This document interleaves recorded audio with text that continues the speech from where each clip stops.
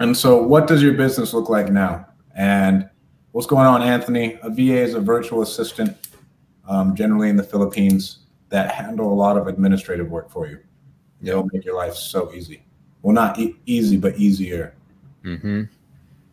Yeah, I, I I'm actually right now working on uh, putting together all our our systems and processes into uh, training portal where anything that's not in person, I'm going to try to put all that on VAs. Yep. And because it's their Anthony, if you if you don't know about VAs, once you learn about them, they're going to be your best friend.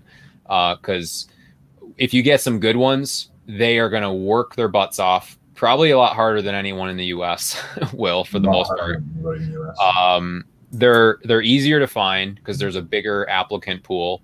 Uh, you can you can interview them just the same as you would someone here, um, and they're the the price to value is, insane. You don't have to pay any taxes or insurance or anything. It's just a straight uh, dollar per hour type fee. Uh, it'll completely change your business. And I don't know a single really successful investor that doesn't use VAs. No, not at all.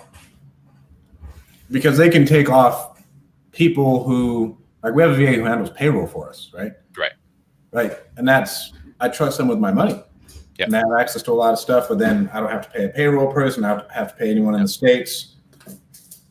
And so that has been, VAs are absolutely amazing. Absolutely.